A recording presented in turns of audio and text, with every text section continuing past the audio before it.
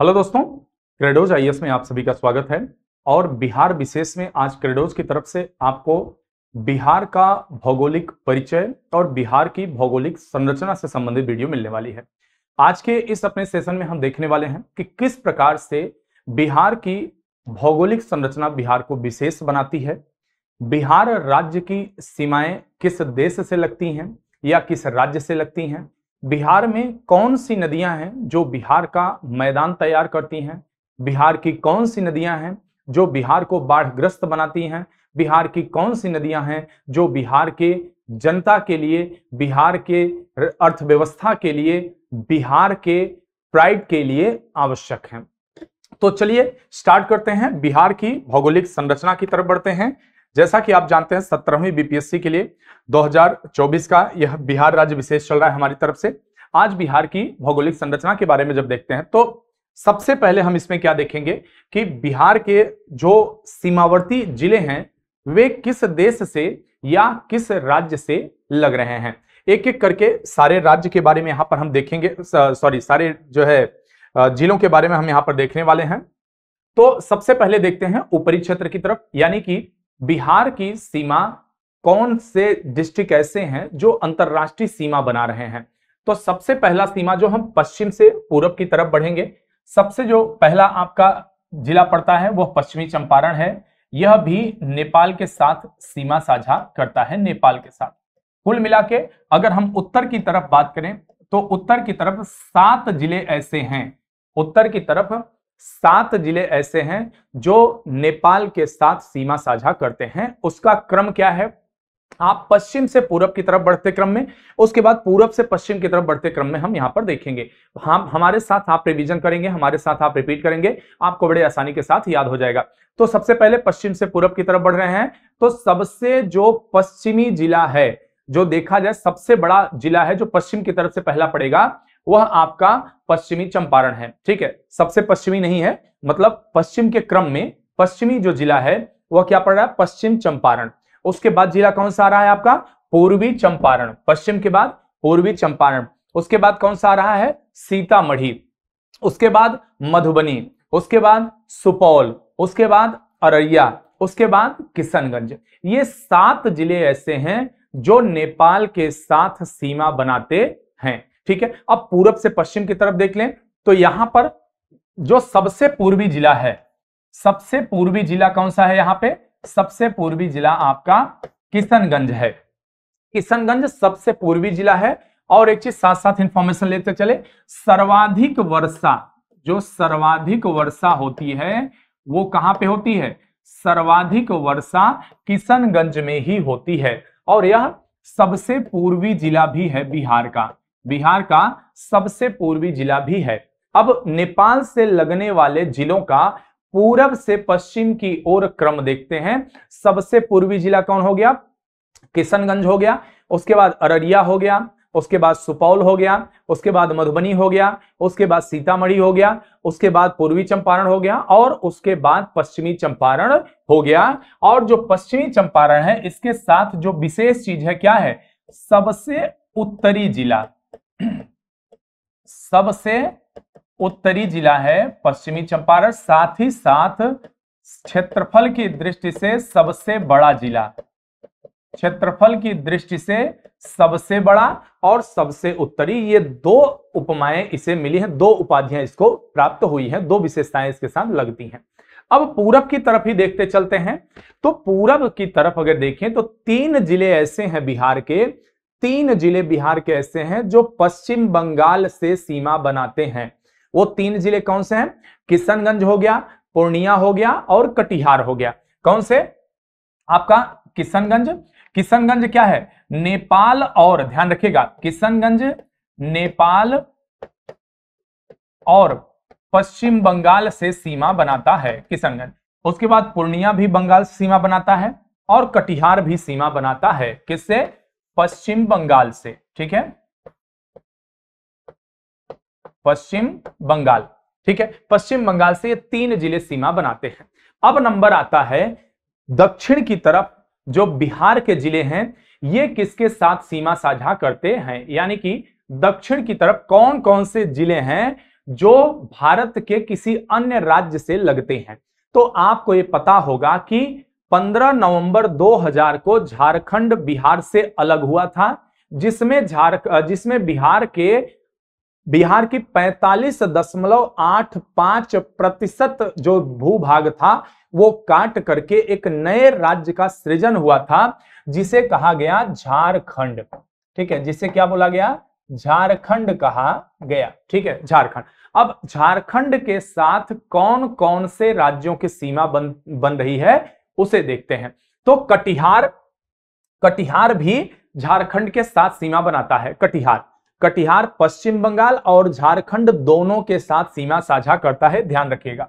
जो कटिहार है, कटिहार, ये आपका झारखंड के साथ भी सीमा बना रहा है और वेस्ट बंगाल के साथ भी सीमा साझा कर रहा है कटिहार। ये भी देखते चलिएगा, जैसे हमने देखा था, किशनगंज, नेपाल के साथ भी सीमा साझा कर रहा है और पश्चिम बंगाल के साथ भी सीमा साझा कर रहा था। इधर उत्तर प्रदेश में भी देख लिया जाएगा कौन सा नेपाल से कर रहा है, कौन उत्तर प्रदेश से कर रहा है। ये दो चीज़ें ऐसी हैं जो एग्ज़ाम में आ सकता है। सामान्य पूछे ना पूछे, लेकिन ये पूछ लेगा कि कौन सा जिला किसी दो राज्य से संपर्क में है, ठीक है? या सबसे ज़्यादा राज्यों के संपर्क में है, ऐसा भी। उसके बाद कटिहार आया। कटिहार के बाद भागलपुर आता है।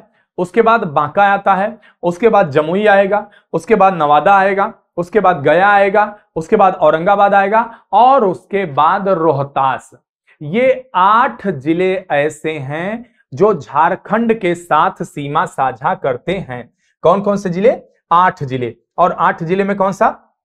फिर से हम उल्टे क्रम में एक बार देख लेते हैं, ठीक है? रोहतास, औरंगाबाद, गया, नवादा, जमुई, बांका, भागलपुर, कटिहार। कटिहार, भागलपुर, बांका, जमुई, नवादा, गया, औरंगाबाद, रोहतास। ये सारे के सारे झारखंड के साथ सीमा साझा कर रहे हैं। आठ ज़िले ऐसे हैं जो झारखंड के साथ सीमा साझा कर रहे हैं। अब इसी में थोड़ा सा विशेष एक ज़िले के साथ है गया। अगर गया की बात किया जाए तो गया के साथ विशेष क्या है? सबसे दक्षिणी जिला, ठीक है? गया क्या है? सबसे दक्षिणी जिला है। ठीक है, गया सबसे दक्षिणी जिला। इसके साथ साथ एक और विशेषता गया के साथ लगती है और वो क्या है? सबसे गर्म, सबसे ठंडा। ठीक है, गया सबसे गर्म जिला भी है और गया सबसे ठंडा जिला भी है बिहार का। यह ध्यान रखिएगा, पठारीय क्षेत्र है और इसलिए सबसे गर्म भी है और सबसे ठंडा भी है। और एक चीज़ सबसे कम वर्षा वाला भी जिला, ठीक है? सबसे कम वर्षा, ठीक है? सबसे कम वर्षा वाला जिला भी क्या है? गया है, ठीक है? गया। तो ये बिहार के जो झारखंड सीमा से लग रहे हैं ज़िले, उनके बारे में कुछ इंफॉर्मेशन हो गई। अब चलिए बढ़ते हैं अपने पश्चिम की तरफ़। यानी कि उत्तर प्रदेश से कौन कौन सी सीमा लग रही है, ठीक? तो उत्तर प्रदेश से सीमा जो जो ज़िले लगा रहे हैं, उनके बारे में देख लेते हैं। आपके सामने है, यहाँ देख सकते हैं आप। नीचे से आप बढ़ते हैं, नीचे से देखते हैं, दक्षिण से लेके उत्तर की तरफ़ बढ़ते क्रम में देखेंगे, ठीक है? तो सबसे जो दक्षिण, यहाँ आपको पढ़ा है, कैमूर, ठीक है? कैमूर जो है, कैमूर जो है, वह यूपी के साथ लगता हुआ जिला है। कैमूर जो है, यूपी के साथ लगता हुआ जिला है। आप एक कमेंट करके बताइए, क्या रोहतास भी लग रहा है? कमेंट करके आप बताइए, क्या रोहतास भी सीमा साझा कर रहा है? उत्तर प्रदेश के साथ दिए गए मैप के अनुसार देखिएगा, ठीक है?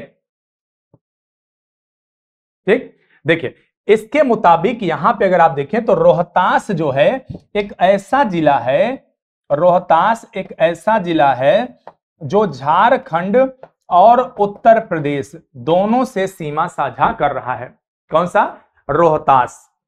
रोहतास झारखंड के साथ भी लग रहा है और रोहतास उत्तर प्रदेश के साथ भी सीमा साझा कर रहा है। यहाँ पर अगर आप ध्यान दें तो रोहतास के साथ साथ कैमूर उत्तर प्रदेश से सीमा बना रहा है। बक्सर, भोजपुर, सारण, सीवान, गोपालगंज और पश्चिमी चंपारण। ठीक है? कुल मिला के आठ ज़िले बिहार के ऐसे हैं आठ ज़िले ऐसे हैं जो उत्तर प्रदेश के साथ सीमा साझा कर रहे हैं, ठीक है? आठ ज़िले उत्तर प्रदेश के साथ सीमा साझा कर रहे हैं और इन आठ जिलों में कैमूर जिला जो है, ये सबसे पश्चिमी जिला माना जाता है, ठीक है? सबसे पश्चिमी जिला जो है बिहार का, वो कैमूर माना जाता है। आपको ध्यान देना है, सबसे उत्तरी जिला, सबसे दक्षिणी जिला, सबसे पश्चिमी जिला, सबसे पूर्वी जिला, सबसे ज़्यादा वर्षा कहाँ होती? सबसे छोटा जिला, सबसे बड़ा जिला। ठीक है? तो सबसे बड़ा का पता चल गया, पश्चिमी चंपारण है, सबसे बड़ा जिला। और अगर पूछे सबसे छोटा तो शिवहर शिवहर ऐसा है, सबसे छोटा जिला। ठीक है? शिवहर सबसे छोटा जिला है। और कंफ्यूज मत होइएगा। शिवहर नेपाल के साथ बिल्कुल सीमा साझा नहीं करता। भले उत्तर में है लेकिन इसको पूर्वी चंपारण और सीतामढ़ी से घिरा हुआ यह जिला है। ठीक है? तो यहाँ पर हमने देखा कि कौन कौन से ऐसे सीमावर्ती राज्य हैं जो इसके साथ सीमा बनाते आ, सीमा बना रहे हैं बिहार के साथ। तो यह एक सामान्य भौगोलिक परिचय हुआ। अगर इसको हम चाहें तो आप लोग एक शॉर्ट नोट्स बना सकते हैं। हम पॉइंट कर करके चीज़ों को लिखते जा रहे हैं। यहाँ तो मैंने बता दिया, इसके अलावा पॉइंट कर करके चीज़ों को यहाँ भी लिखते जा रहे हैं। आप चाहें तो उसको भी नोट डाउन कर सकते हैं। सबसे पहले हम क्या देखेंगे? नेपाल की सीमा से संलग्न ज़िले। हमने मैप में दिखा दिया, अब यहाँ लिख के दिखा दे रहे हैं, ठीक है? नेपाल से संलग्न ज़िले। नेपाल से संलग्न ज़िले कौन कौन से हैं? पश्चिमी चंपारण, पूर्वी चंपारण, पश्चिमी चंपारण, पूर्वी चंपारण, सीतामढ़ी, मधुबनी, सुपौल, अररिया। सीतामढ़ी, सुपौल, अररिया। सीतामढ़ी, सुपौल, अररिया और किशनगंज, ठीक है? और किशनगंज। ठीक है, ये देखिए, एक चीज़ ध्यान रखिएगा कि मैंने आपको इससे पहले ये बता रखा है कि सबसे पूर्वी कौन सा है, सबसे पश्चिमी कौन सा है, सबसे उत्तरी कौन सा है, सबसे दक्षिणी कौन सा है, इसलिए इसको लिखने के दौरान हम उस चीज़ पर फोकस नहीं करेंगे। आप लोग खुद से ये चीज़ें नोट करते चले जाएँ। तो कुल सात ऐसे ज़िले हैं, कुल सात ज़िले ऐसे हैं जो नेपाल के साथ सीमा बनाते हैं, ठीक है? अब अगला क्या देखते हैं? जैसे कौन से ऐसे ज़िले हैं जो उत्तर प्रदेश के साथ सीमा साझा करते हैं? ठीक है। उत्तर प्रदेश से संलग्न ज़िले। उत्तर प्रदेश से संलग्न ज़िले। उत्तर प्रदेश से कौन कौन से ज़िले संलग्न हैं? उसके बारे में देखें तो उत्तर पर नीचे से देखिए, ठीक है, दक्षिण से देखते हुए चलिए। तो सबसे पहले क्या आएगा? रोहतास। ठीक है, रोहतास। और रोहतास ऐसा है जो झारखंड से भी बना रहा है और उत्तर प्रदेश से भी सीमा साझा कर रहा है। उसके बाद कैमूर। कैमूर सबसे पश्चिमी जिला है। कैमूर। कैमूर हो गया। उसके बाद बक्सर। और बक्सर के बाद भोजपुर, आरा। ठीक है? भोजपुर, यहीं पर आरा है, जो गाना भी बना था। आप लोग जानते भी होंगे, सुने भी होंगे। ठीक है? भोजपुर, सारण सारण, सीवान और गोपालगंज उसके बाद एक अंतिम जिला आ रहा है जो नेपाल के साथ भी सीमा साझा कर रहा है, और वह क्या है? पश्चिमी चंपारण, ठीक है? पश्चिमी चंपारण। ये क्या है? ये पश्चिमी चंपारण जो है, पश्चिमी चंपारण सबसे उत्तरी जिला है। सबसे उत्तरी और सबसे बड़ा जिला, ध्यान रखिएगा।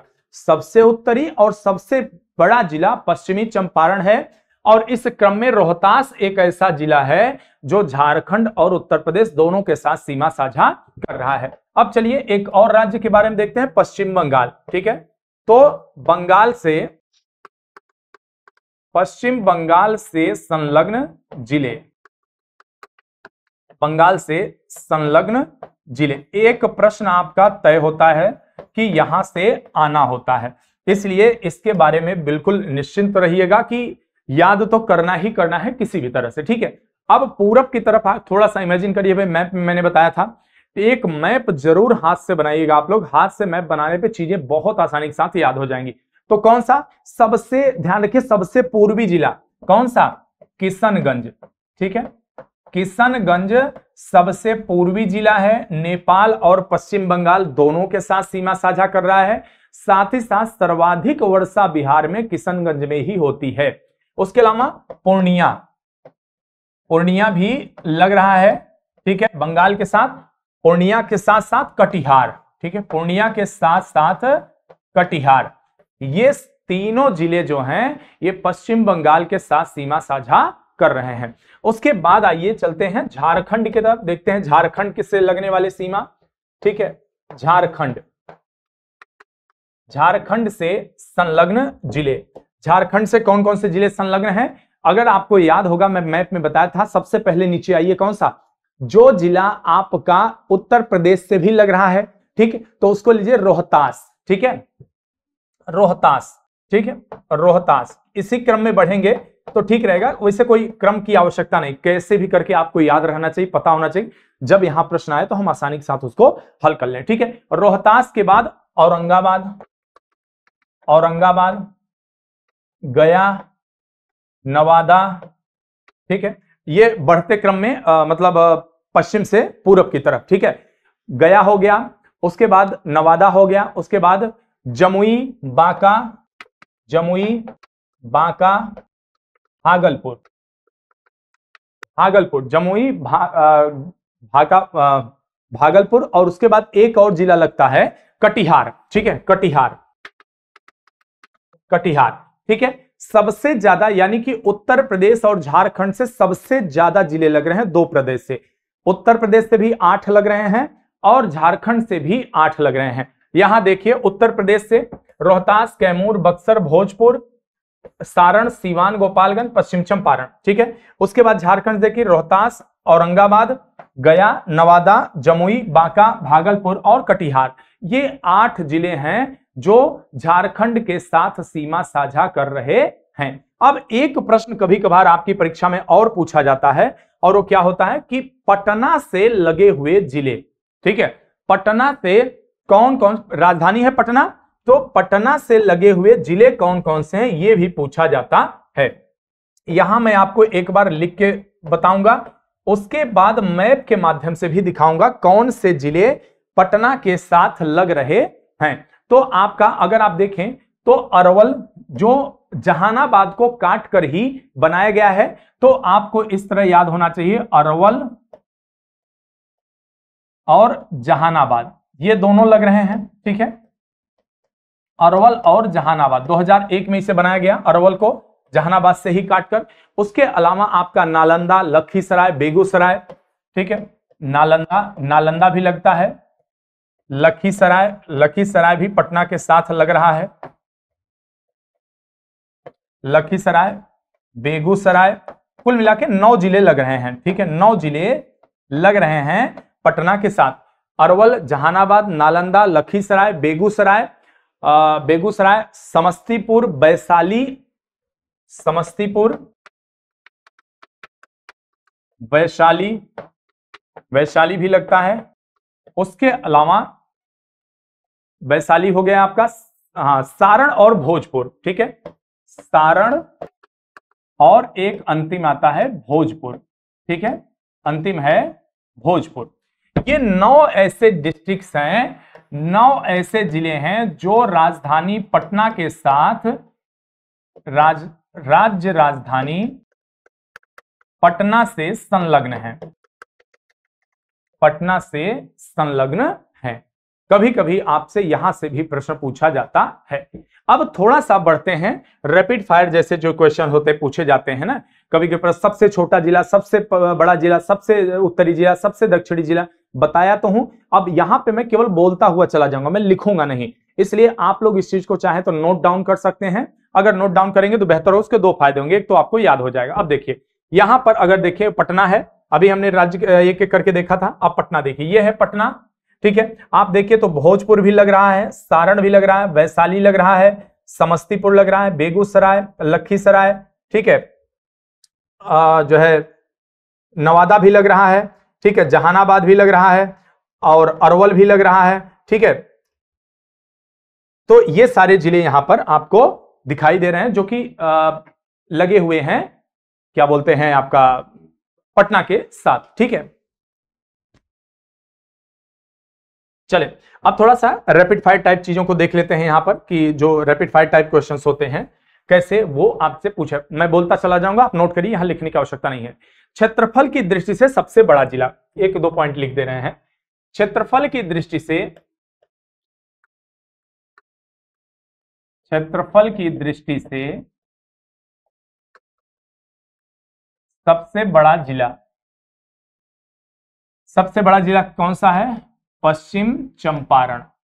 पश्चिम चंपारण क्षेत्रफल की दृष्टि से सबसे बड़ा जिला है। अब यही दूसरा प्रश्न बन जाएगा, सबसे छोटा जिला। ठीक है? सबसे छोटा जिला। ठीक है? सबसे छोटा जिला कौन सा हो जाएगा? शिवहर।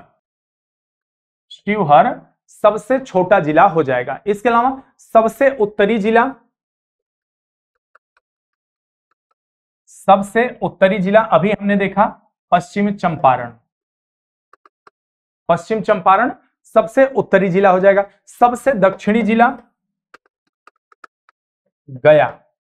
गया सबसे दक्षिणी जिला है। सबसे ठंडा, सबसे गर्म और सबसे कम बारिश जहाँ होती है, वो कौन सा आपका है जिला? वो आपका गया है। गया में सबसे कम, सबसे ज़्यादा और सबसे ज़्यादा गर्म भी है, सबसे ज़्यादा ठंडा भी है। सबसे पश्चिमी जिला कौन सा हो जाएगा? अभी हमने देखा कैमूर। कैमूर सबसे पश्चिमी जिला हो जाएगा। सबसे पूर्वी जिला कौन सा हो जाएगा? सबसे पूर्वी जिला किशनगंज। किशनगंज सबसे पूर्वी जिला है और सबसे ज़्यादा जो बारिश होती है वह किशनगंज में ही होती है।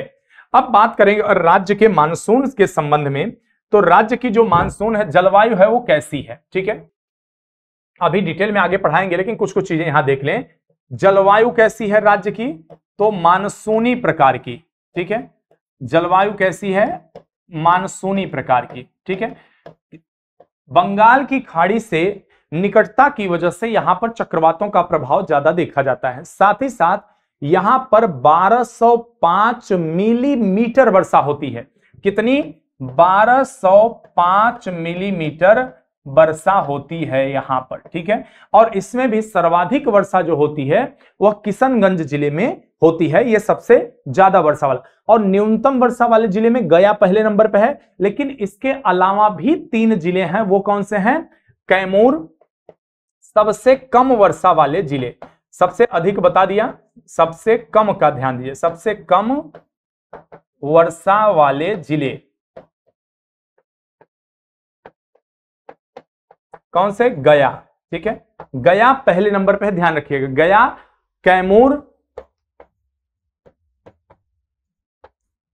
कैमूर, रोहतास और औरंगाबाद।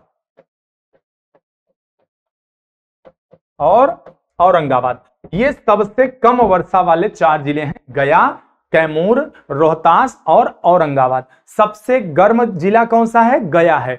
समुद्र तल से बिहार की अगर देखें तो औसत ऊंचाई कितनी है? कभी कभी आपसे यह प्रश्न भी पूछा जाता है, समुद्र तल से बिहार की औसत ऊंचाई।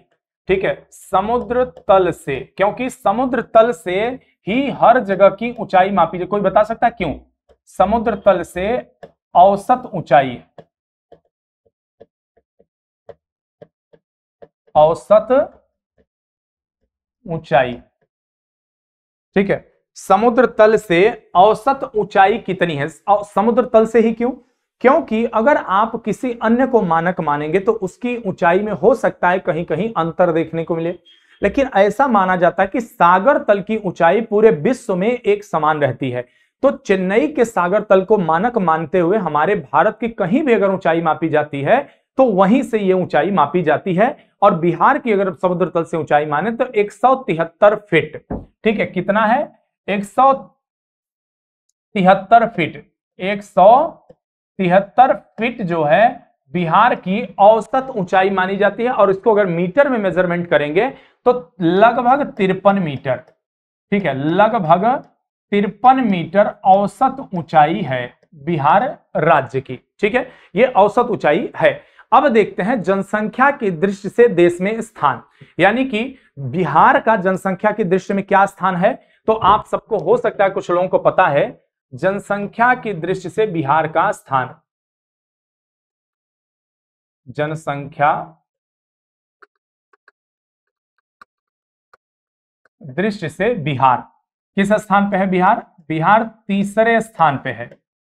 तीसरे स्थान पे है। तो अब प्रश्न उठता है कि पहले दूसरे पे कौन कब्जा करके बैठा है? तो बड़े, जो है, जान के खुशी होगी आपको कि एक तो आपका पड़ोसी राज्य है। और पड़ोसी राज्य में कौन सा है? उत्तर प्रदेश। उत्तर प्रदेश सबसे ज़्यादा जनसंख्या लेकर बैठा है, यह पदक हासिल हुआ है। और दूसरे नंबर पर सर्वाधिक जनसंख्या किसके पास है? तो वो है बॉलीवुड नगरी महाराष्ट्र। महाराष्ट्र को दूसरे नंबर पर सर्वाधिक जनसंख्या वाला राज्य माना जाता है। अब बिहार के अगर क्षेत्रफल की बात करें, मैं पहले बता चुका हूँ, पहले वाली वीडियो में चौरानवे हज़ार एक सौ तिरसठ वर्ग किलोमीटर, ठीक है? इसको हम पहले बता चुके हैं, इसलिए कोई भी यहाँ पर रिपीट नहीं करेंगे, समय का अभाव है। आपके पास भी बहुत ज़्यादा समय नहीं है, इसलिए प्रयास यह किया जाएगा कि कम से कम समय में कितना ज़्यादा से ज़्यादा चीज़ों को कवर किया जाके।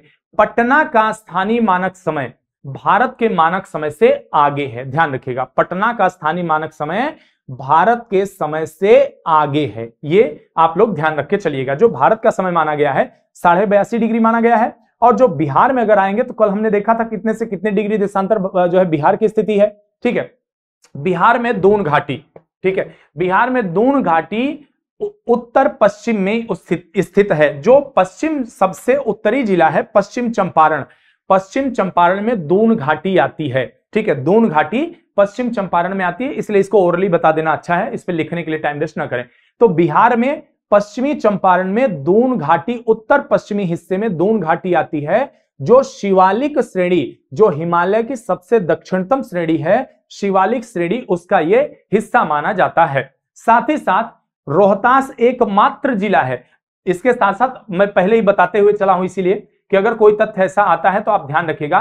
जैसे कुछ ऐसा आता है, आपसे प्रश्न पूछा गया कि कौन सा ऐसा जिला है बिहार का जो झारखंड और उत्तर प्रदेश दोनों से सीमा साझा करता है? तो कौन सा वहाँ आपको उत्तर लगाना है? वहाँ आपको उत्तर लगाना है, रोहतास जिला ऐसा है जो उत्तर प्रदेश और बिहार दोनों से उत्तर प्रदेश और झारखंड दोनों से सीमा साझा करता है। उसके अलावा एक आता है सोमेश्वर श्रेणी, ठीक है? सोमेश्वर श्रेणी का शीर्ष भाग जो है, कहीं कहीं आपको सोमेश्वर मिलेगा, कहीं कहीं सोमेश्वर मिलेगा, परेशान नहीं होना है, ठीक है? एक ही चीज़ है। सोमेश्वर श्रेणी सोमेश्वर श्रेणी बिहार और नेपाल के बीच में, ठीक है? बिहार और नेपाल के बीच में सीमा निर्धारण करती है। बिहार और नेपाल के बीच प्राकृतिक सीमा का निर्धारण करती है। प्राकृतिक सीमा का निर्धारण। प्राकृतिक सीमा का निर्धारण करती है सोमेश्वर श्रेणी। बिहार राज्य की सीमा भारत के तीन राज्यों से मिलती है। आपका पश्चिम बंगाल हो गया उत्तर प्रदेश हो गया और झारखंड हो गया। और एक देश नेपाल से भी मिलती है। बिहार जनसंख्या की दृष्टि से तीसरे स्थान पे क्षेत्रफल की दृष्टि से बारहवें स्थान पे है। भारत के क्षेत्रफल में बिहार की स्थिति देखें दो दशमलव आठ प्रतिशत आठ छह प्रतिशत क्षेत्रफल कवर करता है बिहार। रामनगर दून बिहार में ही एक प्राकृतिक क्षेत्र आता है रामनगर दून। हम मैप के माध्यम से आपको बताना चाहेंगे। आ, देखते हैं अगर उस तरह का प्राकृतिक मैप अगर कोई होगा। चलिए इसी को देख लेते यहाँ, अगर यहाँ आप देखें, इस इसके माध्यम से अगर आप देखें, इस मैप में तो जो पश्चिमी चंपारण आपको दिख रहा है, पश्चिमी चंपारण जो यहाँ आपको दिख रहा है, पश्चिमी चंपारण का जो उत्तरी हिस्सा है, ये वाला हिस्सा, ठीक है? इसको दूसरे पेन देखते हैं, पिंक हाँ पिंक पता चल रहा है, ठीक है, चल, देखिए, यहाँ जो ये हिस्सा आपका पड़ता है, ये ये हिस्सा जो है, यही आपका सोमेश्वर श्रेणी या सुमेश्वर श्रेणी है। ठीक है, ये आपका सोमेश्वर श्रेणी है, सुमेश्वर श्रेणी है। और इसके नीचे वाला जो ये हिस्सा हो, है, आप इस तरह वाला जो हिस्सा यहाँ पर देख रहे हैं, इस पश्चिमी चंपारण के नीचे, इसको दून घाटी बोला जाता है। ठीक है, ये दून घाटी कहा जाता है, इसे दून घाटी बोला जाता है। और इसके नीचे वाला जो हिस्सा होता है, इसके नीचे वाले इस हिस्से को इसे रामनगर दून कहा जाता है। ठीक है, इस हिस्से को रामनगर दून रामनगर दून। पश्चिमी चंपारण ही एक ऐसा है जो ज़्यादातर पर्वतीय हिस्सा वहाँ देखने को मिलता है।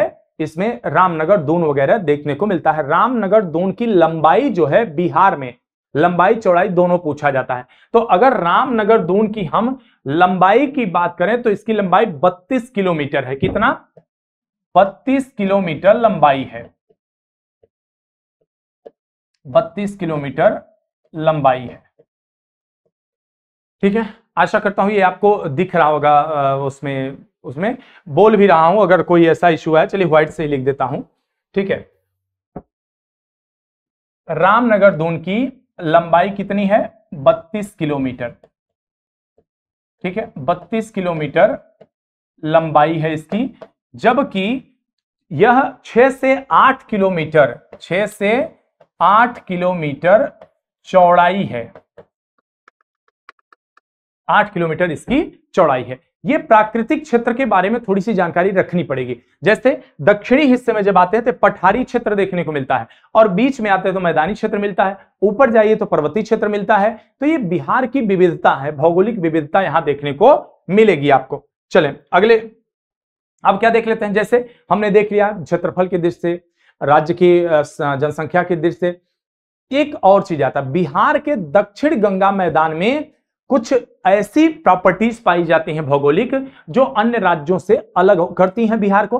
तो दक्षिण गंगा मैदान में अवस्थित जो पहाड़ियाँ हैं, ठीक है? यानी कि पठारीय जो हिस्सा है, कुछ हिस्सा बिंधन क्षेत्र का आता है और कुछ दक्कन के पठारी क्षेत्र का हिस्सा आता है। तो दक्षिण गंगा का जो मैदान है, जैसे अगर आप बिहार के मैप को ध्यान से देखेंगे, जैसे मान लीजिए कि बिहार का मैप हो गया, ठीक है? मैं रफली बना रहा हूँ, बहुत ज़रूरी नहीं कि सही बने, ठीक है? इस तरह से। तो ये जो दक्षिणी ये गंगा जी इसको दो भागों में बांटती हैं, ये दक्षिणी हिस्सा है इसका। तो जो दक्षिण का हिस्सा है यहाँ पर, इसको अगर आप देखेंगे तो ये जो चीज़ आ रहा है, आपका देख रहे हैं, यहाँ पर ये कुछ तो विंध्यन का क्षेत्र आता है ये ये विंध्यन का टच बाकी जो होता है यह दक्कन पठारीय क्षेत्र भी यहाँ पे टच होता है। तो जो दक्षिणी गंगा के मैदान का क्षेत्र है, ये जो पहाड़ियाँ यहाँ स्थित है, धारवाड़ कालीन क्वाटजाइट चट्टानों से निर्मित है। ये क्या है? धारवाड़ कालीन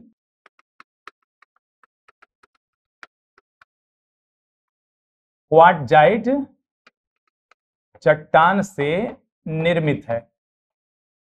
आपसे प्रश्न पूछा जा सकता है कि बिहार के किस क्षेत्र में धारवाड़ कालीन क्वाटजाइट चट्टाने पाई जाती हैं? यह प्रश्न आपसे पूछा जा सकता है तो इसके लिए आप यहाँ पर तैयार रहिएगा, ठीक है? चले, अब कुछ और प्राकृतिक संरचना के बारे में अगर बात करते हैं तो बिहार को मैं एक यहाँ पे, देखिए, मैप पहले से ड्रॉ है, ठीक है? मैप यहाँ पे ड्रॉ है, इसी के बारे में थोड़ा सा देख लेते हैं। अगर आप प्राकृतिक संरचना के बारे में बात करें तो बिहार के, बिहार को तीन भौगोलिक क्षेत्रों में बांटा जाता है, ठीक है? प्राकृतिक संरचना के आधार पर इसे तीन भागों में बांटा जाता है। कैसे? उत्तर में उत्तर में, मैं पहले ही आपको बता चुका शिवालिक पर्वतीय भाग। उत्तर में, शिवालिक पर्वतीय भाग। ठीक है? यह पहला रहा। दूसरा क्या आता है? दूसरा जो इसका भौगोलिक क्षेत्र, ये यहाँ ये बताया हूँ ना, यहाँ पे इस क्षेत्र में, यहाँ पे शिवालिक का क्षेत्र पाया जाता है। अभी और बताऊँगा, अभी इतना समझ लीजिए। उसके अलावा मध्य बिहार का मैदानी क्षेत्र, मध्य बिहार का मैदानी भाग, मैदानी क्षेत्र। ठीक है? उसके बाद तीसरा जो आता है, दक्षिण के पठारी भाग। ठीक है, क्या आता है? दक्षिण के पठारी भाग। ठीक है, ये तीन प्रकार के भौगोलिक क्षेत्र में हम इसे बांट सकते हैं बिहार को। ठीक है, अभी यहाँ पर नदियों को मैं आपको दिखाऊँगा किस तरह से नदियों ने इसे बांटा है। नदी के क्षेत्र पर भी बांट के देखेंगे। सबसे पहले देखते हैं, शिवालिक वाले अगर हिस्से को आप देखें तो सोमेश्वर श्रेणी। हमने अभी भी देखा यहाँ पर, इस क्षेत्र में सोमेश्वर श्रेणी। सोमेश्वर श्रेणी पाई जाती है, ठीक है? एक शिवालिक श्रेणी का हिस्सा है, सोमेश्वर श्रेणी, ठीक है? ये पर्वतीय हिस्सा है। इसमें तीन प्रमुख दर्रे हैं। दर्रे क्या होते हैं? जैसे जो पर्वत होता है तो जब कोई पर्वत इस तरह से कंटिन्यू रहे, ठीक है? तो नदियाँ क्या करती हैं? उसे काट देती हैं। नदियाँ उसे काट देती हैं। तो बीच बीच में जो हिस्सा बच जाता है, नदियों द्वारा काटा हुआ हिस्सा होता है तो वो काफ़ी लाखों सालों से कट रहा है। तो काफ़ी चौड़ा क्षेत्र बन जाता है। तो उसके द्वारा यात्री, व्यापारी तमाम प्रकार के लोगों का आवागमन होता है।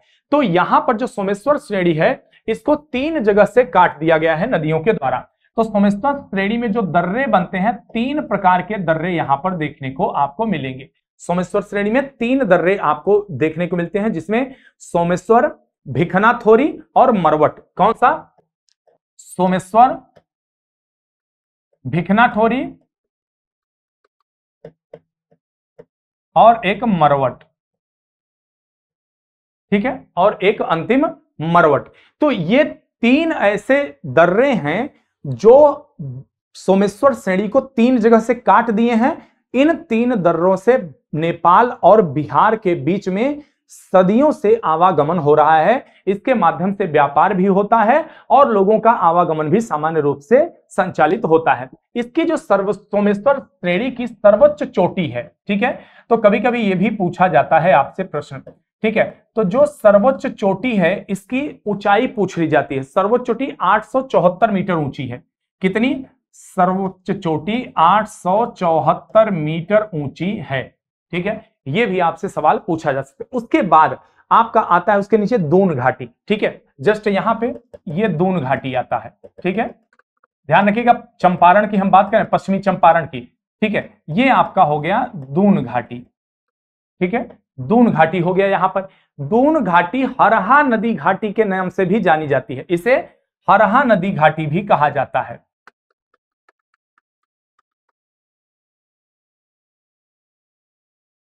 हरहा नदी घाटी भी कहा जाता है। अब क्यों कहा जाता है इसे? क्योंकि यहाँ पर एक प्रकार की हरहा नाम की एक नदी है, इसलिए हरहा नदी घाटी भी कहा जाता है। और यह सोमेश्वर और रामनगर दून के मध्य स्थित है। तो इसका तात्पर्य हुआ कि इसके दक्षिण में यहाँ पर आपको रामनगर दून देखने को मिलेगा। ये जो है, ये रामनगर दून है। ठीक है, अभी इससे पहले रामनगर दून के बारे में हमने पढ़ा था। ठीक है, यह हरहा नदी के दक्षिण में स्थित है। और इसकी अधिकतम ऊंचाई जो है रामनगर दून की, ये भी ध्यान रखिएगा। ये रामनगर दून जो है, इसकी अधिकतम ऊंचाई आपसे पूछा जाता है 240 मीटर। ठीक है, कितना है? 240 मीटर। 240 मीटर दो, ये जो है रामनगर दून की ऊंचाई है, रामनगर दून।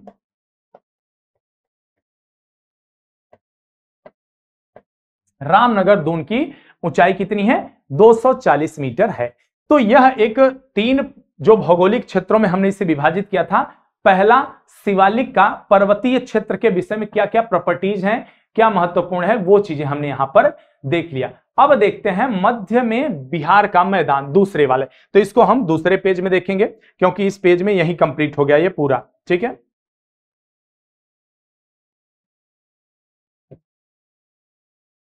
वो वो।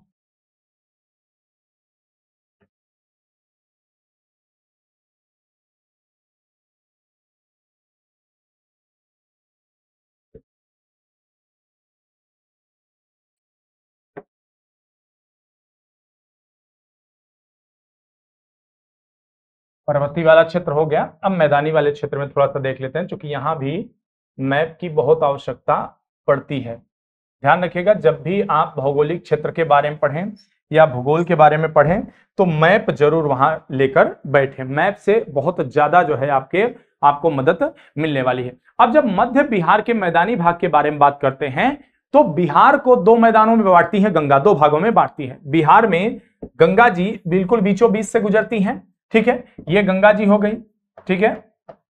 गंगा। और बिहार को ये दो भागों में बांटती हैं। एक तो हो गया आपका उत्तरी मैदान। ये क्षेत्र उत्तरी मैदान का हिस्सा हो गया और यह आपका दक्षिणी मैदान हो गया, ठीक है? दक्षिणी मैदान हो गया, ठीक है? उत्तरी और दक्षिणी दो भागों में बांट देती हैं। तो सबसे पहले हम उत्तरी मैदान के बारे में पढ़ लेते हैं कि उत्तरी मैदान में कौन कौन सी नदियाँ हैं और वे नदियाँ दोआब का निर्माण करती हैं। दोआब क्या होता है? दो नदियों के बीच के स्थित क्षेत्र को दोआब कहा जाता है। आब मीन्स जल होता है। दो जलीय क्षेत्र के बीच की भूमि दोआब कही जाती है। तो उत्तरी बिहार की प्रमुख नदियों के बारे में हमें सबसे पहले यहाँ देखना पड़ेगा। तो अगर आप मैप रखे होंगे तो आपको पता होगा कौन कौन से जो है नदियाँ, उत्तरी बिहार की प्रमुख नदियाँ हैं। तो सबसे पहले हम नदी देखें घाघरा के बारे में। ये सारी गंगा की सहायक नदियाँ आके अल्टीमेट गंगा में मिल जाती हैं। तो अगर इस क्षेत्र के बारे में हम बात करें तो आप देखेंगे घाघरा नदी है पहले।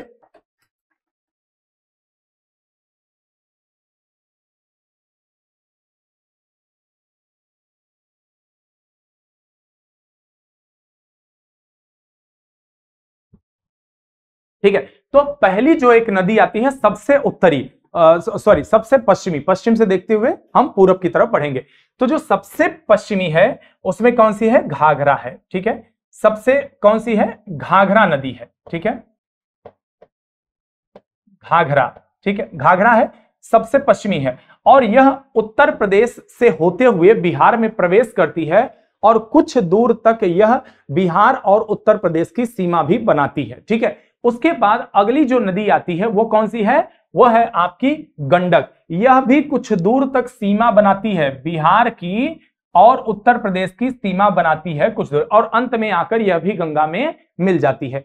उसके बाद एक नदी है जो नेपाल से निकलती हुई आती है और वह भी आकर गंगा में मिल जाती है। नेपाल से निकलकर आती हुई गंगा में मिल जाती है। इसको क्या? ये तो हो गई गंडक। ठीक है? ये हो गई गंडक और यह हो गई आपकी कोसी। ठीक है? ये आपकी कौन सी हो गई? ये कोसी हो गई। उसके अलावा एक सबसे जो पूर्वी नदी है बिहार की, वह कौन सी है? वो यहाँ पे आप देख सकते हैं, इस तरह से ये कौन सी ये महानंदा हो गई। ठीक है, कौन सी नदी हो गई है महानंदा। सबसे पूर्वी नदी। ठीक है, किशनगंज में ये प्रवेश करती है बिहार में। अब उत्तर की ये तीन प्रमुख नदियाँ आप देख रहे हैं, चार प्रमुख नदियाँ। अब इनके दोआब के बारे में देख लेते हैं। तो जो घाघरा और गंडक के बीच का क्षेत्र है घाघरा और गंडक के बीच का क्षेत्र। इसको बोला जाता है घाघरा हाँ घाघरा गंडक के बीच का जो क्षेत्र है, इसको घाघरा गंडक दोआब ठीक है? घाघरा गंडक दोआब ठीक है?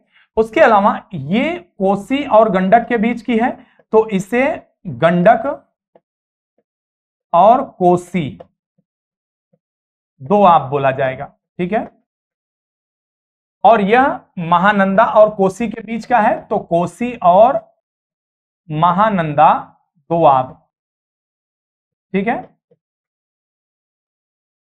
ये प्रमुख नदियाँ हैं जो सबसे इनकी खास बात क्या है कि ये नदियाँ पूरे साल, इन नदियों का जो सोर्स है, इन नदियों का सोर्स ग्लेशियर्स होती हैं ग्लेशियर्स होते हैं, और इसकी वजह से ये सदा वाहिनी नदियाँ होती हैं। कैसी नदियाँ होती हैं? सदा नीरा या सदा वाहिनी नदियाँ ये होती हैं। और यही नदियाँ बिहार में, खासकर उत्तरी बिहार में, बाढ़ का कारण बनती हैं। उत्तरी बिहार में ये बाढ़ का कारण बनती हैं। इनमें आप देखें, घाघरा हो गई, गंडक हो गई, कोसी हो गई और महानंदा। इसके अलावा कुछ अन्य नदियाँ भी हैं, जैसे बूढ़ी गंडक हो गई, बागमती हो गई, ये नदियाँ भी महत्वपूर्ण हैं, ठीक है?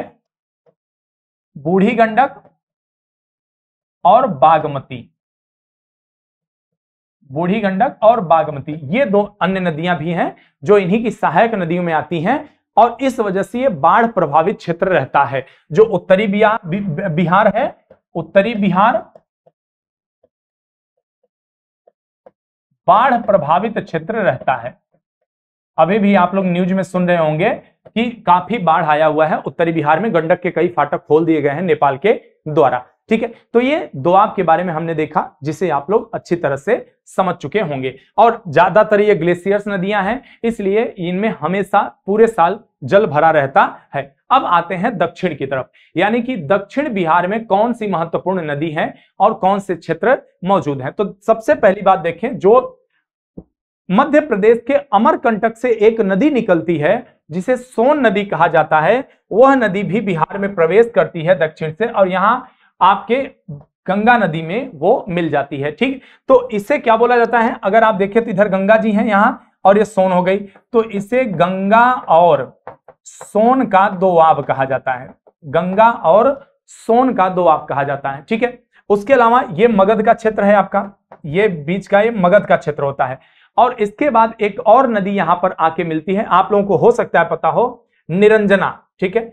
निरंजना नदी है, और यह आगे आप निरंजना जानते हैं फाल्गु नदी है। और फाल्गु कब बनती है? जब इसमें एक छोटी सी नदी आके मिलती है, मोहना। ठीक है, मोहना। ठीक है, मोहना मिलती है, उसके बाद ये फाल्गु हो जाती है। ठीक है, उसके बाद ये फाल्गु मूल रूप से ये निरंजना नदी है। ठीक है, मूल रूप से ये निरंजना नदी है। तो यहाँ पर चूँकि जो दक्षिण बिहार की नदियाँ हैं, ये दो मुख्य नदियाँ हैं बस।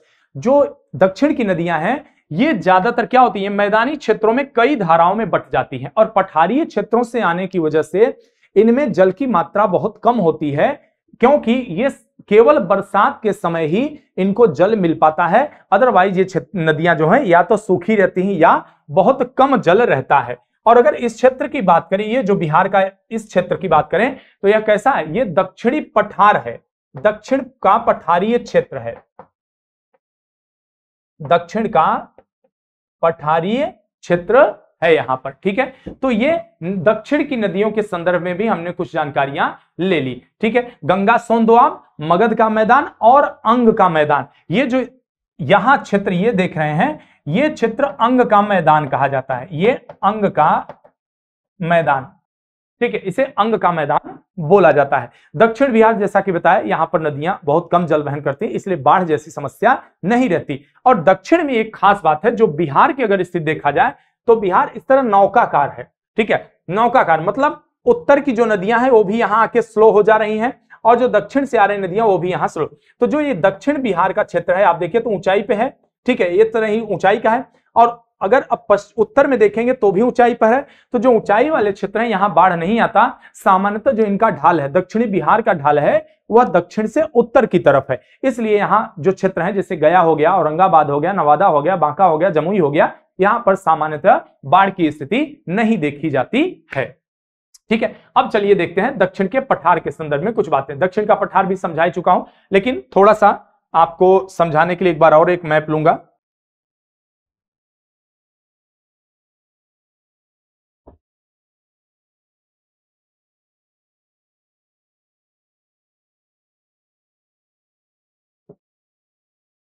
चले। चूँकि दक्षिण का ही समझाना है तो इसे मिटा देते हैं। ठीक है। क्या कर दिया?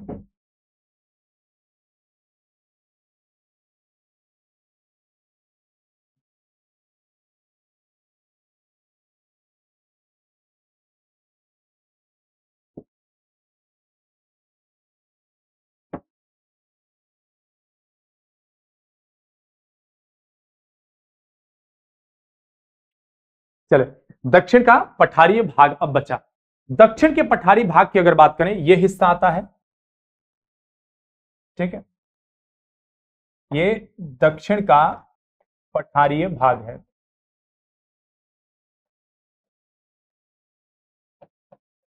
दक्षिण का पठारी भाग हो गया। नीस एक प्रकार की चट्टान है, सिस्ट ग्रेनाइट चट्टानों की यहाँ बहुलता पाई जाए। किसकी? यहाँ पर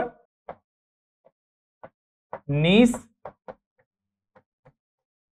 सिस्ट और ग्रेनाइट। नीस, सिस्ट और ग्रेनाइट प्रकार चट्टानों की बहुलता।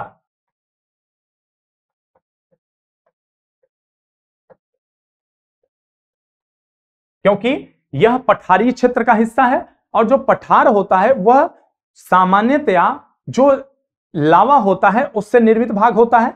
तो कालांतर में कई हज़ार साल, करोड़ों साल बीत जाने के बाद इन चट्टानों का स्वरूप अब नीस शिष्ट ग्रेनाइट प्रकार का हो चुका है। इसमें जो मुख्य पहाड़ियाँ हैं कभी कभी इसमें पहाड़ियों के बारे में पूछा तो गया, मंदर, बराबर बराबर की पहाड़ियों के बारे में आपने सुना होगा, जिसमें अशोक और उनके पुत्र दशरथ, पौत्र दशरथ के द्वारा गुफाएँ काट के बौद्ध धर्म को दान में दी गई थी। तो यहाँ पर अगर देखा जाए, जिस क्षेत्र के बारे में हम बात कर रहे हैं तो यहाँ पर गया, मंदर, बराबर, ठीक है?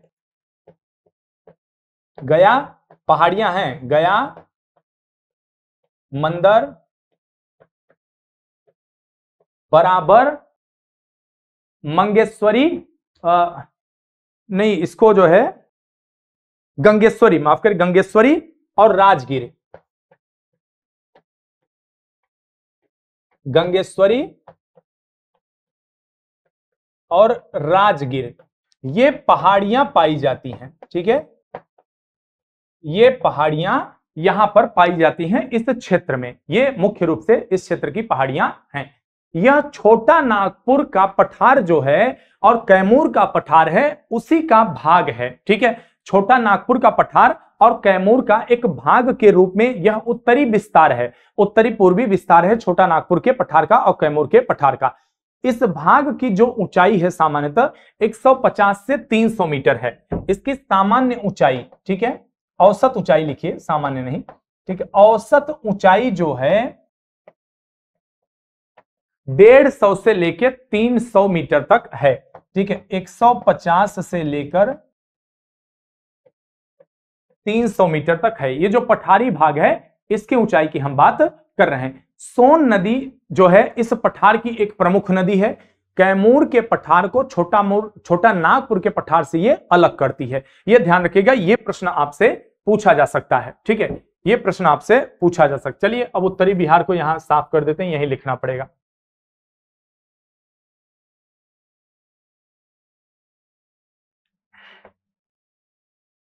ठीक है?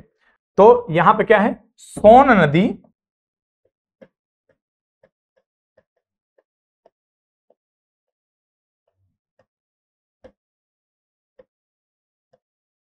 सोन नदी जो है, वो कैमूर के पठार को, छोटा नागपुर के पठार से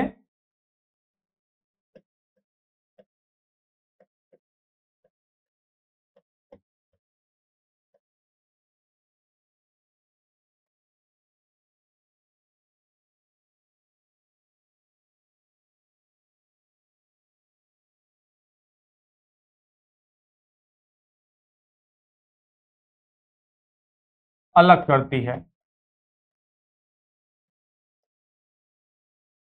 ठीक है? यह एक विभाजक का काम करती है। छोटा नागपुर पठार के उत्तरी सीमांत क्षेत्र में, यानी कि छोटा नागपुर के पठार का जो उत्तरी हिस्सा है, उसके सीमांत क्षेत्र में आर्कियन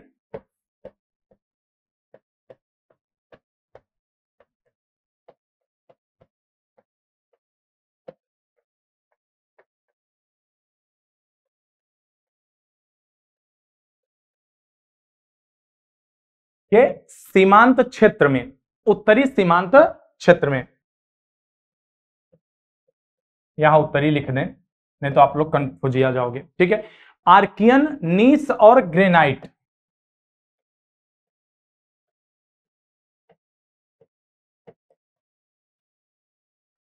नीस, ग्रेनाइट प्रकार की चट्टाने पाई जाती हैं। ठीक है? इतने प्रकार की चट्टाने इसमें पाई जाती है। तो आपसे पूछा जा सकता है, किस प्रकार की चट्टाने यहाँ पाई जाती हैं? छोटा नागपुर पठार के उत्तरी सीमांत क्षेत्र में। जबकि कैमूर पठार में अगर बात करें तो बलुआ पत्थर विद्यमान है, ठीक है? कैमूर पठार में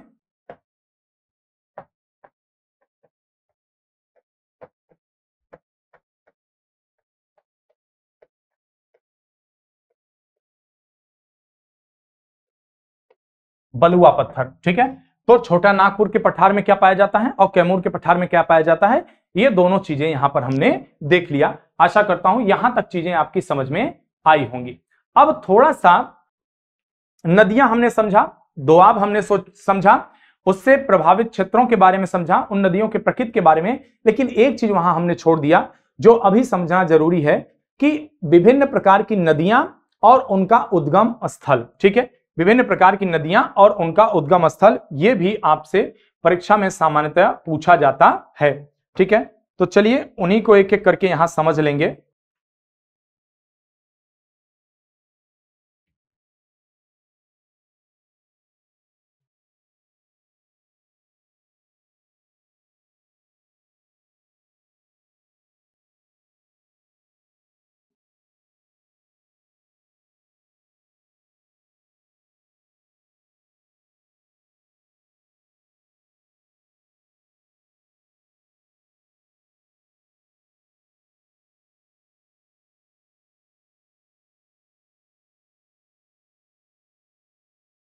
ठीक है, सबसे पहले उत्तरी बिहार की कुछ नदियों को देख लेंगे, उसके बाद एक एक करके दक्षिणी बिहार की नदियों को भी देखेंगे।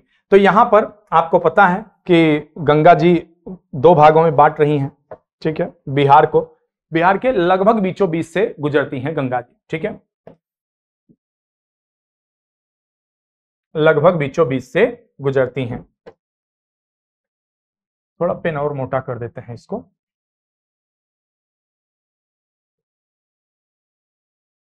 ठीक है? लगभग दो भागों में बिहार को बांट रही हैं। अब सबसे पहले जो देखेंगे, हम सबसे पहले देखेंगे घाघरा, जिसे यूपी में सरयू नदी के नाम से भी जाना जाता है। यूपी में सरयू नदी के नाम से भी जाना जाता है। किसको? घाघरा को। ठीक है? और घाघरा उत्तर प्रदेश और बिहार की कुछ हद तक सीमा भी बनाती है। ठीक है? कुछ हद तक वो सीमा भी बनाती है। तो हम इस तरह से लेंगे इस नदी को, इस तरह से करते करते यहाँ आके ये मिल रही, कहाँ पे मिल रही है? सबसे पहले इसका उद्गम देखें।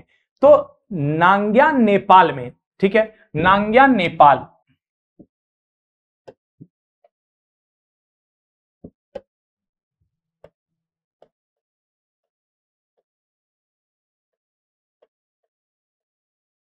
नांग्या नेपाल उद्गम है, ठीक है? उद्गम है। उत्तर प्रदेश में इसे सरयू कहा जाता है, ठीक है? अयोध्या नगरी इसी सरयू नदी के किनारे है, लेकिन जब ये बिहार में पहुँचती है तो इसे घाघरा नदी कहा जाता है, ठीक है? इसे घाघरा बोला जाता है, घाघरा। उद्गम स्थल कहाँ पे है? नांग्या, नेपाल में, और यह छपरा के निकट बिहार में। यहाँ छपरा है, ठीक है? छपरा। छपरा के निकट बिहार में इसका गंगा के साथ संगम हो जाता है, ठीक है? तो ध्यान रखिएगा, उद्गम कहाँ पे है और संगम कहाँ पे है, ये दोनों चीज़ें आपके लिए ज़रूरी है, दोनों को तैयार रखिए। उसके बाद जो अगली महत्वपूर्ण नदी आती है, वो कौन सी है? वह गंडक है, ठीक है? अगली महत्वपूर्ण नदी गंडक।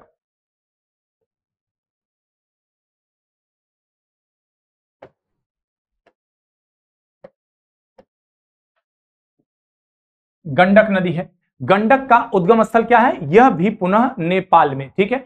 नेपाल इसका उद्गम स्थल है गंडक का। ये सारी ग्लेशियर्स की नदियाँ हैं। उद्गम स्थल नेपाल है और संगम कहाँ पे है?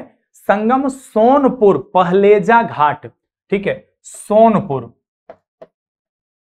सोनपुर, पहलेजा घाट।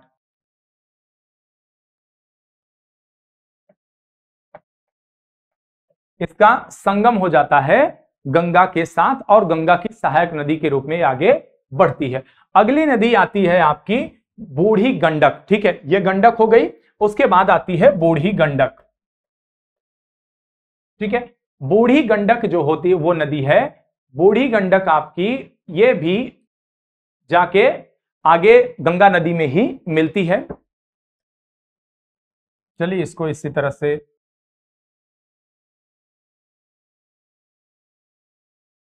थोड़ा सा जगह कम पड़ जाएगी यहाँ पर। चलें देखते हैं मैनेज करते हैं किसी तरह से ठीक है? आप मान के चलिए ये, ये क्या हो गई? ये बूढ़ी गंडक हो गई ठीक है? बूढ़ी गंडक बूढ़ी गंडक हो गई। इसका उद्गम स्थल क्या है?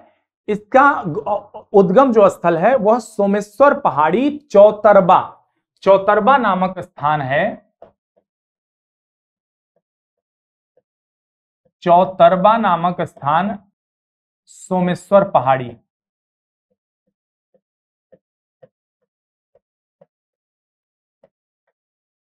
सोमेश्वर पहाड़ी चौतरबा नामक स्थान पर इसका उद्गम होता है, ठीक है? इसका उद्गम चौतरबा नामक स्थान सोमेश्वर पहाड़ी और यह खगड़िया जिला के पास गंगा नदी में मिल जाती है। कहाँ पर? खगड़िया। खगड़िया में गंगा नदी से इसका संगम हो जाता है। एक और नदी नेपाल से ही निकलती है, जिसे बागमती कहते हैं। ठीक है, एक और नदी नेपाल से निकलती है, जिसका नाम है बागमती। ठीक है, बागमती। यह नेपाल से ही निकलती है, इसका उद्गम स्थल शिवपुरी श्रेणी। ठीक है, क्या है? शिवपुरी श्रेणी।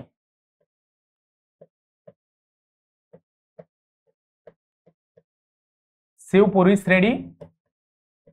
नेपाल।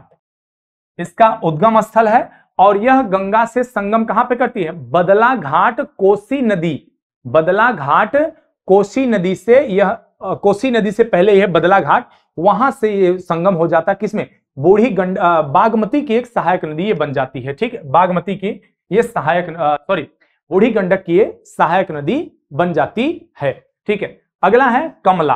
कमला नदी बहुत महत्वपूर्ण नदी नहीं है, लेकिन ठीक है, अब है। इसका कलर चेंज कर देते हैं, क्योंकि यहाँ पर ना बहुत ज़्यादा भसड़ हो जा रहा है नदियों के। हाँ ठीक है। अगली नदी कौन सी आती है आपकी? कमला, ठीक है। अगली नदी है हमारी कमला। यह नेपाल के महाभारत श्रेणी। महाभारत पर्वत श्रेणी, नेपाल।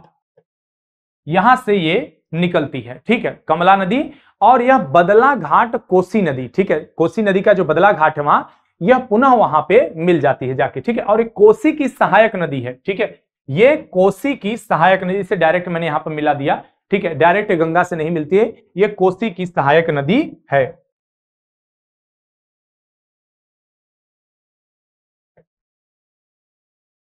चलें, इसको थोड़ा सा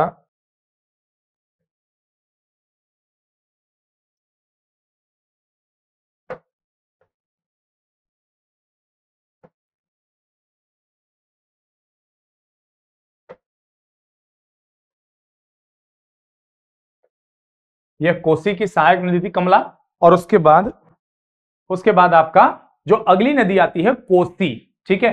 वह गोसाई नाथ नामक स्थान नेपाल से, ठीक है? कोसी नदी आती है, अगला, अगली नदी है कोसी, ठीक है? गोसाई नाथ गोसाई नाथ उद्गम स्थल, ठीक है? नेपाल ही है गोसाई नाथ और यह जाकर कुरसेला कुरसेला में गंगा नदी से मिल जाती है। कहाँ पर? कुरसेला। कुरसेला में गंगा नदी से ये मिल जाती है। उसके बाद आपका आता है महानंदा, जो सबसे अंतिम नदी आती है, महानंदा। ठीक है? महानंदा नदी आती है, जो बिहार के साथ, बिहार में भी बहती है और थोड़ी कुछ दूर तक सीमा भी बनाती है। इसका जो उद्गम स्थल है यह कुर्सियांग दार्जिलिंग है, ठीक है? कुर्सियांग दार्जिलिंग में इसका उद्गम है। कहाँ पे? कुर्सियांग दार्जिलिंग।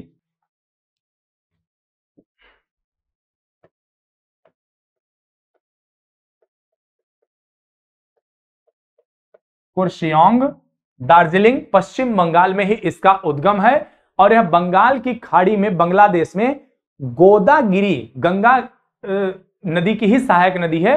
पश्चिम बांग्लादेश में गोदागिरी एक स्थान है, ठीक है? बांग्लादेश में गोदागिरी एक स्थान है, वहाँ ये जाकर गंगा से मिलती है, डायरेक्टली यहाँ गंगा में नहीं मिलती, ठीक है? संगम है इसका, ठीक? तो यह यहाँ पर हमने उत्तरी बिहार की सारी नदियाँ देख लिया। उत्तरी बिहार की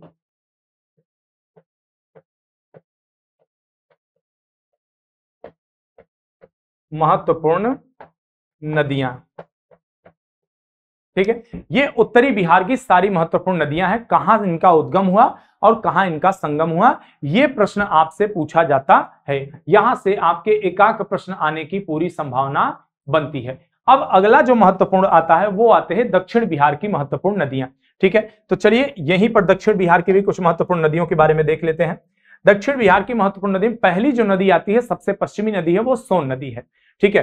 कौन सी है? सबसे पश्चिमी महत्वपूर्ण नदी है आपकी सोन नदी। ठीक है?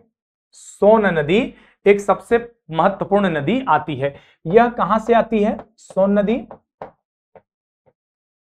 अमरकंटक की पहाड़ी। अमरकंटक। अमरकंटक की पहाड़ी मध्य प्रदेश के अनूपपुर जिला है। मध्य प्रदेश के अनूपपुर जिला। मध्य प्रदेश के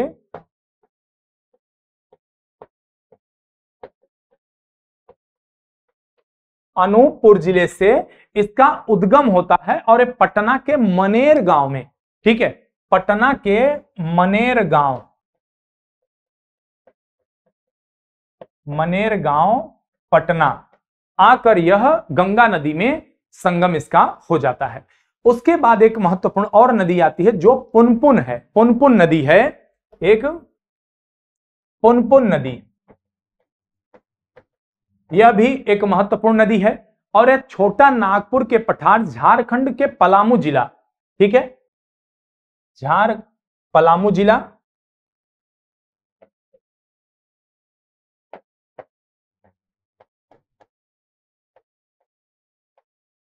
पलामू जिला झारखंड, ठीक है? पलामू जिला झारखंड छोटा नागपुर के पठार का पर ही स्थित है। वहाँ से इसका उद्गम होता है। और यह पटना के फतुहा के निकट, ठीक है? पटना के फतुहा के निकट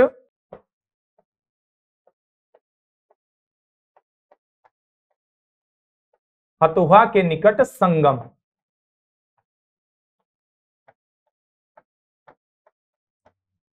फतुहा के निकट इसका गंगा में संगम हो जाता है।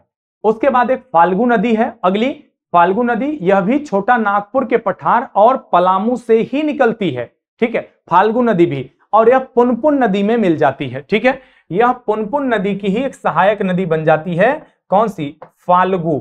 मैंने अभी थोड़ी देर पहले ही बताया था, फाल्गु। यह भी छोटा नागपुर के पठार के पलामू ज़िले से मिलती है और यह पुनपुन नदी के सहायक नदी के रूप में ही समाप्त हो जाती है।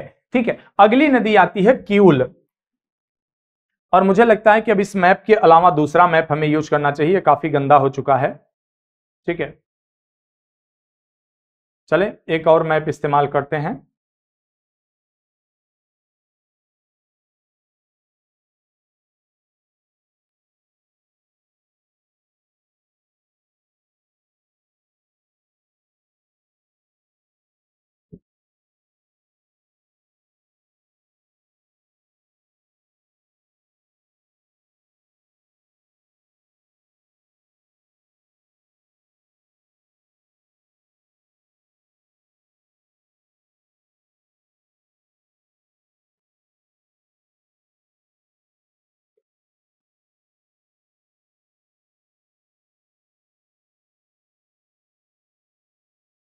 ठीक देखिए, ये सोन नदी थी, ठीक है? यहाँ से जो है दूसरी एक नदी आई थी, ठीक है? ये पुनपुन हो गई। अभी हमने देखा, ये फाल्गु हो गई, ये सोन हो गई आपकी, ठीक है? ये फाल्गु, पुनपुन, सोन, और एक नदी और आती है क्यूल, ठीक है? क्यूल। यह भी दक्षिण बिहार की नदी है, यह भी पठारी नदी है और गिरिडीह जो झारखंड में स्थान है, गिरिडीह, ठीक है? झारखंड में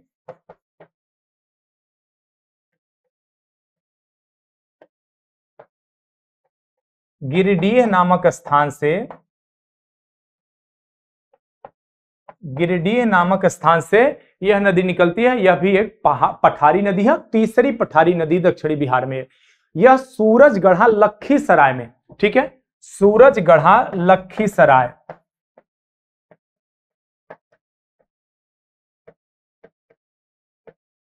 लखीसराय में गंगा नदी के साथ इसका संगम हो जाता है। और एक अन्य भी नदी है बस जानने के लिए जान लीजिए आवश्यक अजय। सबसे बिहार की कहा जाए तो सबसे पूर्वी दक्षिणी नदी अजय नदी है। ये महत्वपूर्ण नदियाँ हैं, जिनके बारे में हमने यहाँ पर बात किया। आज यही क्लास रोकेंगे।